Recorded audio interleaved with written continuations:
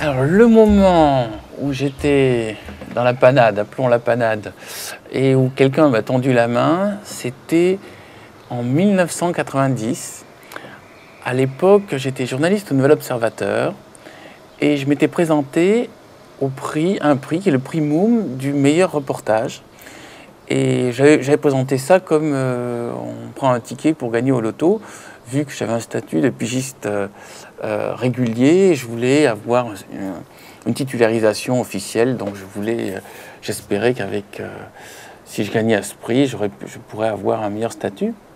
Donc je m'étais présenté à ce prix, et à la surprise générale, surtout des gens de mon service, c'est moi qui ai été sélectionné et pas les 50 autres journalistes de l'Obs qui s'étaient présentés. Alors il y a mon rédacteur en chef de l'époque qui est venu me voir, chef de service, qui m'a dit écoute, c'est très gênant, je crois que les, tu te rends pas compte de ce que tu as fait, mais euh, c'est toi qui as été choisi, ça veut dire que par rapport aux journalistes extérieurs, c'est toi le meilleur d'entre nous, tu comprends, ça c'est ingérable dans la boîte, je crois que tu te rends pas compte de l'erreur que tu as faite, d'oser te, présenter à ce prix. Et euh, j'ai rencontré Françoise Giroud, qui me dit euh, écoutez, votre reportage est extraordinaire. Euh, je ne savais même pas que vous étiez dans le journal. Il paraît que vous êtes journaliste scientifique, mais euh, c'est vraiment fabuleux. Et je lui raconte que justement, j'espère être titularisé. Mais elle me dit, mais il n'y a pas de problème, et je vais vous arranger ça. Et elle me fait rencontrer Père Driel, qui lance une procédure de titularisation. Mais entre-temps, tous ceux qui n'ont pas été sélectionnés commencent à s'unir et font une sorte de complot bizarre dans lequel, en gros, ils disent qu'il euh, faut à tout prix que ce petit jeune euh, qui est en train de, de nous bouffer euh, la branche sur laquelle on est assis, de nous scier la branche sur laquelle on est assis, soit évacué. Et bref, ils s'entendent tous pour me faire virer du, journal, avec notamment Josette Alia, qui considérait que c'était elle qui méritait le prix, qui ne comprenait pas que, que je sois sélectionné. Et il y a donc la procédure d'engagement qui se démarre en même temps que la processus de licenciement. Et moi, je dis, écoutez, j'en ai marre de ces histoires, donc je m'en occupe plus. C'est le plus vite qui, qui, agit, qui, euh, aura, euh, qui prendra la décision. Et donc, en même temps que ma procédure de licenciement est lancée, ma procédure d'engagement est lancée. Et évidemment, c'est comme euh, d'habitude, c'est les méchants qui gagnent. Donc la procédure de licenciement va plus vite que la procédure d'engagement. Et je dis, ben, allez à Jacques Taest, aucune importance, j'ai pas de temps à perdre dans un journal qui ne tient pas à moi et qui, qui préfèrent jouer sur des, trucs d'ancienneté. Et euh, je dis juste, euh, ben, donnez-moi mes indemnités, au revoir. Globalement, dans le style très fier, euh, comme j'étais à l'époque.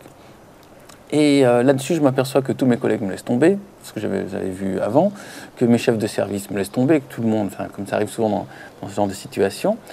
Et surgit un personnage inattendu qui s'appelle François Chausser, qui était le responsable de la rubrique euh, international, tous les reportages à l'étranger, et qui était un type extrêmement austère, qui parlait pas, qui faisait un peu vieux clergyman, euh, euh, personne un tout petit peu dur et fermé. Et ce personnage vient me voir, il me dit J'ai appris ton histoire, mais moi je peux pas laisser faire ça. C'est-à-dire, tu es viré pour avoir montré que tu étais vraiment bon, et en plus tu ne te bats même pas pour tes droits, donc vu que tu le fais pas, je vais me battre à ta place.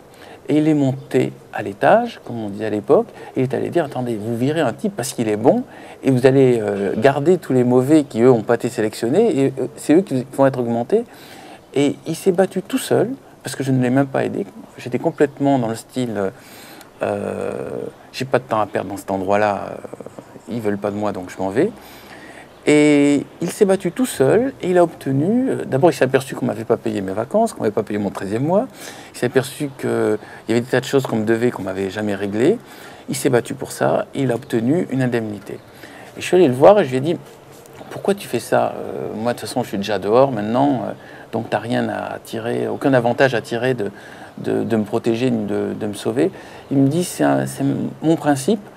J'aime pas voir des dégueulasseries se faire dans ce journal et euh, qu'il n'y ait personne qui réagisse, vu que les autres, je sais que c'est tous des lâches, il fallait qu'il y en ait un qui fasse le job, eh ben, je l'ai fait.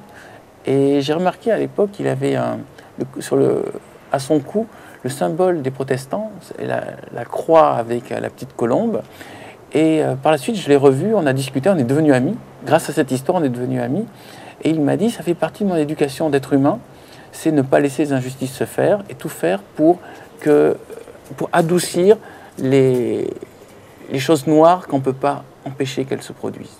Voilà, et donc je me suis aperçu que sur 120 journalistes qui font la morale du, matin au soir dans le journal en expliquant que c'est eux qui protègent les, pauvres et, qui ont le, sens des vérités, il n'y en avait qu'un seul qui était vraiment honnête et bien, et c'était donc François Chausser qui était responsable de la rubrique internationale de l'Obs.